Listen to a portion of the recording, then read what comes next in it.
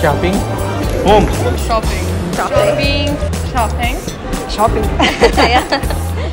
We came to Oman. This was the first place. Friends, of course. Uh, this was the first and the only shopping center in Muscat. In Muscat. I used to go to Chili's, uh, Chili's restaurant a lot.